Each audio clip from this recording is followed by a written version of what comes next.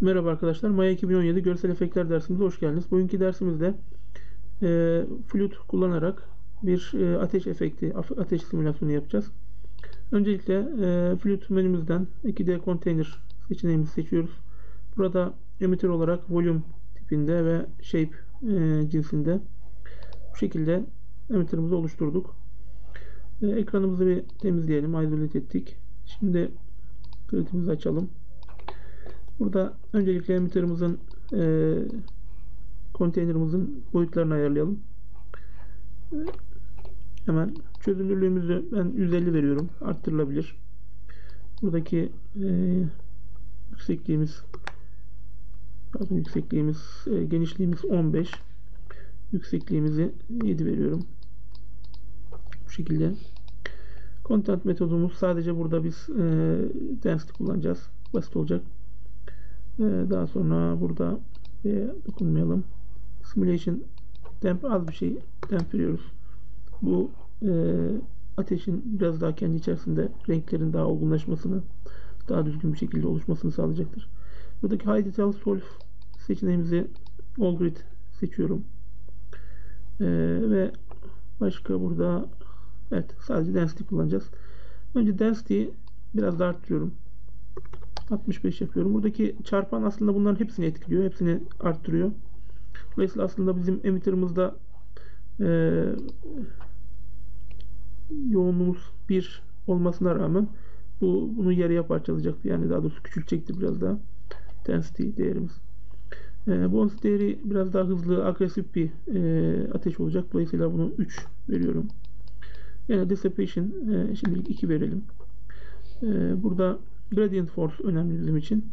Bu bazı böyle alev parçalarının oluşmasını sağlayacaktır. Burada pozitif değerler verirsek bu dışarıya doğru açılan bir şekilde yani bombeli bir şekilde olacaktır. Bu negatif değer verirsek e, bu daha içeriye doğru bir alev parçacığı gibi oluşacaktır. Bu şekilde e, veriyorum. Velocity vereceğim. Başka herhangi bir şeyle oynamayacağım. Turbulans vermiyorum. Bu bu tarafta işimiz bu kadar. Şimdi diğer tarafta bizim emitter'ımızı biraz alalım. Aşağıya doğru indirelim. Evet. Sadece emitter'ımızı seçiyorum. Aşağıya doğru indirdim. Biraz emitter'ımızı büyütebiliriz. Şu şekilde. Ve emitter'ımızda e, herhangi bir hit kullanmayacağız. E, daha sonra bu emitter'ı zaten iptal edeceğim ben. E, kendi şeyimizde başka şey kullanacağım. Drop, e, fluid drop off kaldırıyorum. Aynı şekilde gradient. Burada türbülans vereceğim. Bu e, biliyorsunuz emitter türbülansı. Dolayısıyla buradaki e, detail türbülansı da hepsini tam veriyorum. Şimdi bu şekilde yaptıktan sonra bir play tuşumuza basalım. Bakın sanki ateş görüntüsüne benzer bir görüntü oluştu. Biraz daha e, burada renklerle oynadığımız zaman bu daha iyi ortaya çıkacaktır. Öncelikle burada shading bölümünden transparency değerini biraz daha azaltıyorum. Herhangi bir drop off shape kullanmayacağım. E, kolorumuzu biraz daha koyu bir renk vermemiz gerekiyor. E, çünkü buradaki incandescent değerimizin ortaya çıkabilmesi için bunu density yapabiliriz ya da constant e, olarak kalsın bu. Şimdi incandescent değerimizi burada önemli bizim için. Yani şuralara falan yaklaşık buralara getiriyorum. Aynı şekilde buradaki turuncu değerimizi de burada alalım. Biraz daha şuradan olabilir. Sarımızı biraz daha beyaza yaklaştırabiliriz. Ateş görüntüsünün oluşabilmesi için. Ve buradaki temperature değil de density e, olacak. Aynı şekilde buradaki bias değerimizi isterseniz üzerinde oynayarak gidelim. Şimdi şu anda bakın dikkat ederseniz daha çok dumanımsı bir görüntü. Çünkü ışık renklerimiz şurada hakim. Biz bunu bias değeriyle oynayarak biraz daha ateşimsi bir görüntü oluşturabiliriz. Şu şekilde. Daha sonra e, opacity grafımızla biraz oynayalım. Opacity grafı yani yaklaşık şöyle yukarıya doğru çıkıyorum. Aynı şekilde buradan aşağı iniyorum. Dik bir grafik. Ee, ve burada biraz kırmalar olabilir. Şu şekilde. Ve piyas değerimizi de biraz azaltıyorum. Daha ateşimsi bir görüntü oluşabilir. Şu şekilde. Yine aynı şekilde burada oynayabiliriz. Şimdi tekrar bir play tuşumuza basalım. Bakın dikkat ederseniz bir ateş yüzmesi oluştu. Şimdi biz bunu e, şöminemize ekleyeceğiz. Öncelikle buradaki aslında emitter'ı ben kullanmayacağım. Emitter'ımızı siliyorum. Daha sonra kendi emitter'ımızı kullanacağız. Biz buradaki e, şöminemizdeki ağaçları bunun için kullanacağız. Ve şöminemize yakın bir yerine getirmeye çalışacağım.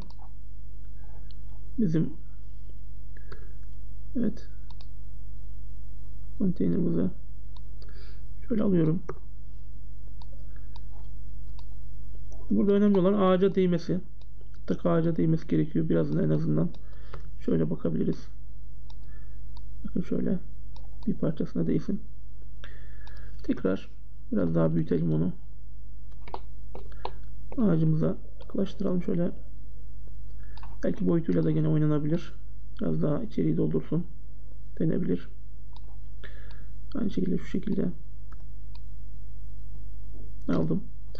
Ve bundan sonra şimdi buradaki e, ağacımızla e, daha sonra outliner'ımızı açalım. Buradaki ağacımızla şu üç ağacımızla ben buradaki flütümüzü ilişkilendireceğim. Buradan add edit content seçeneklerimizden emit from obje seçeneğimizi tıklıyorum. Ve burada e, gene aynı şekilde az önce yaptığımız şeyleri buradaki e, objemiz için de yapacağız. Öncelikle flüt e, shape'imizi seçtim. Burada 3 tane emitter'ımız oluştu. Bunlardan burada biz daha önceden ne yapmıştık? Gradient buradaki 2.5 değerimizi vermiştik ve bunu da full yapmıştık. Başka herhangi bir değişiklik yapmamıştık. Aynı şekilde buradakileri de 2.5 ve e, detail onu arttırıyorum. Bunu da 2.5 yapıyorum.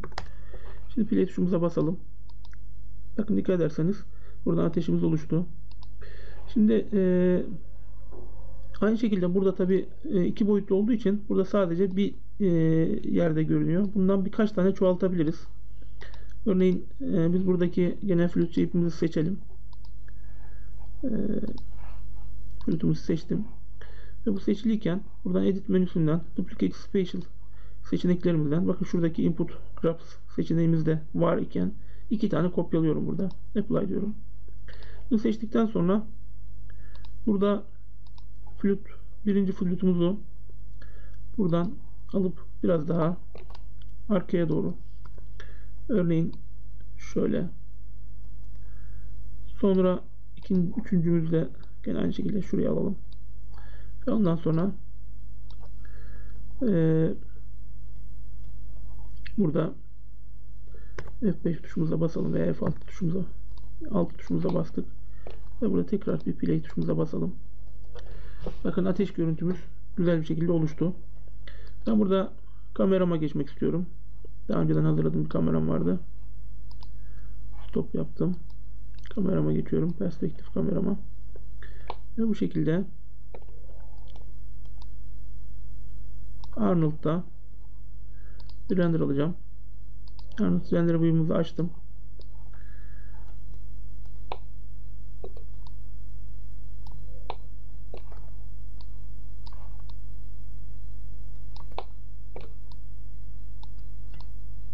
Evet. Arnold'umuz render almaya başladı. Evet şu şekilde bence güzel bir görüntü oluştu. Ve aynı şekilde buradan render'ımızı da yine Arnold'dan alabiliriz. Arnold seçiliyken render tuşumuza basıyorum. Evet render işlemimiz bitti arkadaşlar. Bugünkü dersimizde Fluid Emitter kullanarak bir e, ateş simülasyonu yapmaya çalıştık. Bir dahaki derste görüşmek üzere. Hoşçakalın.